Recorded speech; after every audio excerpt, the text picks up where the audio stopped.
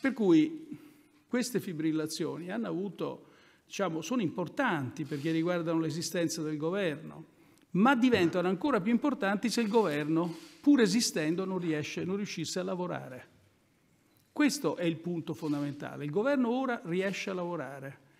Qualora si verificasse una situazione in cui il governo non riesce a lavorare, lo dico anche per tanti altri che dicono che a settembre faranno sfracelli, che minacciano cose terribili, eccetera, un governo con ultimatum non lavora.